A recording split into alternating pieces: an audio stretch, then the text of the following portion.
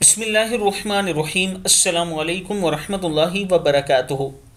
عابد راجہ channel کی طرف سے آج میں اپنے دوستوں کو رسول اللہ صلی اللہ علیہ وآلہ وسلم کا ایک بہت ہی پیارا فرمان سناؤں گا۔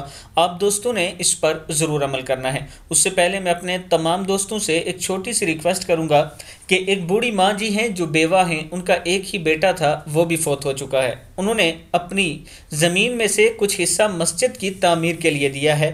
تو میں اپنے دوستوں سے گزارش کروں گا کہ آپ دوست تعاون کریں۔ انشاءاللہ ہم وہاں پر مسجد تعمیر کریں گے۔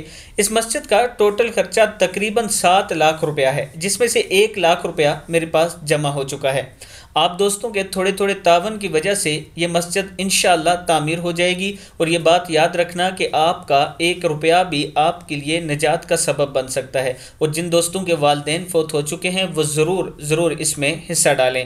یہ میرا واٹس اپ نمبر ہے، اسی پر جائز کیش ایزی پیسہ ہے اور اگر آپ دوست باہر سے کسی ملک سے رقم بھیجنا چاہتے ہیں تو میں آپ کے ساتھ بینک اکاؤنٹ بھی شیئر کر دوں گا، آپ کو طریقہ بھی بتا دوں گا۔ انشاءاللہ آپ کا بھیجا ہوا پیسہ ٹھیک اسی جگہ استعمال ہوگا جس جگہ آپ نے دیا ہے۔ تو شروع کرتے ہیں، بسم اللہ الرحمن الرحیم۔ رسول اللہ صلی اللہ علیہ وآلہ وسلم نے فرمایا، دعا کرو تو کیا کہو؟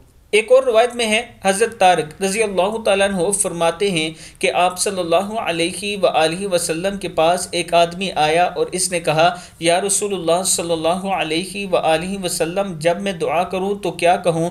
تو میں نے سنا کہ آپ صلی اللہ علیہ وآلہ وسلم نے ارشاد فرمایا، یہ دعا کرو، اللہم مغفر لی ورحمنی وعافنی ورزقنی اے اللہ، میری مغفرت فرما، مجھ پر رحم فرما، مجھے پاک دامنی عطا فرما اور مجھے رزق عطا فرما۔